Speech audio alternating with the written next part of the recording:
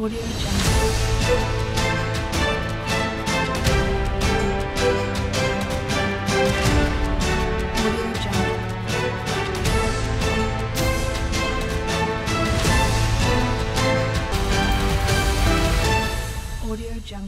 बजरी खनन को लेकर सुप्रीम कोर्ट की रोक के असर की असलियत अगर देखनी हो तो राजस्थान के भीलवाड़ा जिला मुख्यालय व उसके आसपास इस दृश्य को आसानी से देखा जा सकता है। ज़िले में केवल कोटड़ी क्षेत्र में बनास नदी व कोठारी नदी से बजरी खनन की अनुमति है, लेकिन मांडलगढ़ तहसील क्षेत्र सीमा में धड़ल्ले से बजरी का अवैध खनन हो रहा है। जिला प्रशासन व खनिज विभाग चुप्पी साधे है। कागजों में केवल कोटड़ी की अनुमति असल में समूचे बनास नदी से दिन रात बजरी खनन हो रहा है। अवैध खनन की शिकायतों के बावजूद आरोपियों पर कार्रवाई नहीं होने से प्रशासन की कार्यप्रणाली पर सवाल उठने लगे हैं। बनास बचाव समिति के कार्यकर्ताओं ने बताया कि जब जिम्मेदार ही बेपरवाह हो जाए तो जनता अपनी समस्या किसे सुनाएगी? कोटड़ी क्षेत्र में बनास व कोठारी नदी से बजरी खनन की स्वीकृति महेंद्र सिंह राजावत। लीज धारक फर्म को बजरी खनन हेतु स्वीकृति मिली है, परंतु नदी के एक हिस्से में कोटड़ी क्षेत्र है तो दूसरे में मांडलगढ़ क्षेत्र है। परंतु जेसीबी, एलएनटी, उच्च क्षमता युक्त मशीनों द्वारा धड़ल्ले से बजरी माफिया, बजरी का खनन दिन रात किया जा रहा है।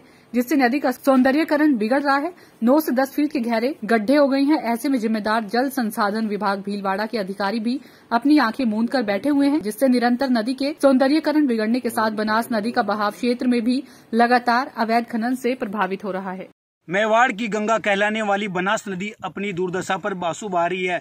भीलवाड़ा ज़िले के कोटड़ी व मांडलगढ़ क्षेत्र की जो बनास नदी के मध्य में जो हम खड़े हुए हैं, जिसमें मुख्य रूप से इस नदी में कोटड़ी क्षेत्र में तेरह महीनों के लिए लीज की स्वीकृति, महेंद्र सिंह राजावत नाम से लीज की स्वीकृति हुई है। परंतु मांडलगढ़ क्षेत्र के बजरी माफिया एवं आसपास के बजरी माफिया बेखौफ होकर कोटा बूंदी झालावाड़ बजरी का अवैध खनन कर रहे हैं। ऐसे में तेरह महीनों के लिए मात्र कोटड़ी क्षेत्र में लीज की स्वीकृति हुई जो नदी दो भागों में विभाजित है, जो एक तो कोटड़ी सीमा में आती है, दूसरी मांडलगढ़ विधानसभा क्षेत्र में आती है। तो ऐसे में नदी में गहरे गहरे खड्डे हो गए हैं और जिससे नदी का पानी प्रभावित हो रहा है, सात से आठ फीट तक गहरे खड्डे हो गए हैं। कैमरामैन को मैं ये बताऊँगा कि अपने दर्शकों को स्पष्ट रूप से बताइए कि नदी किस तरह प्रभावित हो रही है कितने गहरे गहरे खड्डे हो चुके हैं, जिससे नदी का पानी निरंतर प्रभावित हो रहा है। ऐसे में जल संसाधन विभाग को भी इस ओर ध्यान देना चाहिए।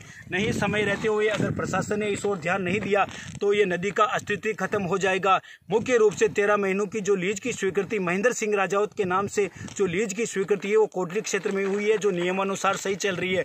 परंतु नदी के आधे हिस्से में जो मांडलगढ़ विधानसभा क्षेत्र में जो अभी लीज की स्वीकृति नहीं हुई है परंतु उसकी आड़ में जो बेखौफ होकर बजरी माफिया है, वो नदी के अंदर पहुंचकर जेसीबी एलएनटी के माध्यम से बजरी का अवैध खनन कर रहे हैं, जिससे नदी में आठ से दस व ग्यारह फीट के खड्डे हो चुके हैं। इन्हीं खड्डों के अंदर मैं हूँ और इस खड्डों के अंदर स्पष्ट आप देख सकते हो कि ये गहरे खड्डे कहीं नदी का अस्तित्व खत्म नहीं कर दे, साथ ही गोली गोल पत्थर दिखाई देने लग गए हैं। ऐसे में प्रशासन को एवं राज्य स्तर पर इसकी जाँच होनी चाहिए, जिससे नदी का अस्तित्व बचाया जा सके। न्यूज़ ट्वेंटी से मैं प्रदीप वैष्णव, मांडलगढ़ से।